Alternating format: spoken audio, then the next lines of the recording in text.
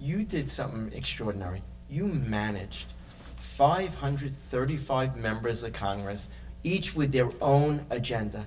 How? You did it successfully. How? Uh, you know, these people also, I, I, I say bluntly, they fall into two categories, sort of 90 10. 90% of them are really great people who are, who are stretched unbelievably thin. You know, the number of things you have to vote on and you have to have some at least dim understanding of is much more than the span of control of the Secretary of mm-hmm. Defense. I have to have in-depth knowledge of you know, things that affect foreign affairs. And you know, the defense department is a pretty big place, so you have to know management, leadership, and lots of other things. Mm-hmm. But these people are voting on all kinds of stuff all, all day. And a lot of them had, you know, interesting careers. They wouldn't be there if they were in it for the money or mostly the praise or the lack of hassle. And then there are 10% of them that you just want to shoot.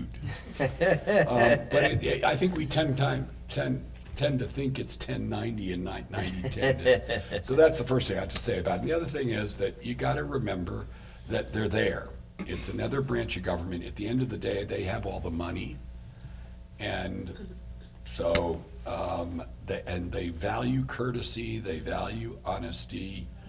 Um, and if you can't give them what they want, you got to be straightforward uh, about it. In the end of the day, they, if you were apolitical, as I was, and I tried to keep our department out of, and you, they knew that you're not going to swing something their way because of who they are, that there's no way in the world I would ever do a thing like that.